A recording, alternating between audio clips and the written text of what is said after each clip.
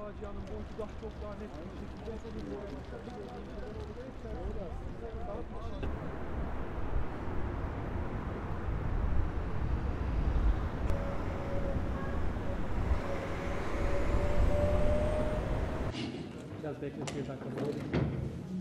Biliyorum aklınızda tonlarca soru var.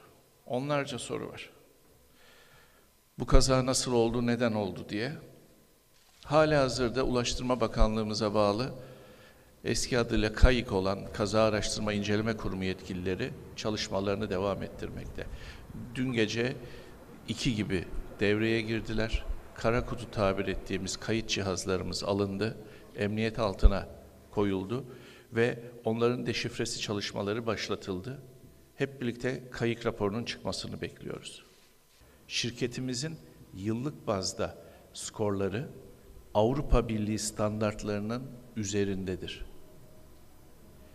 Tüm pilotlarımız risk almamaları, stabil yaklaşım yapmaları, risk görüyorsa pas geçmeleri, gerektiğinde yedek meydana devam etmeleri için teşvik edilirler.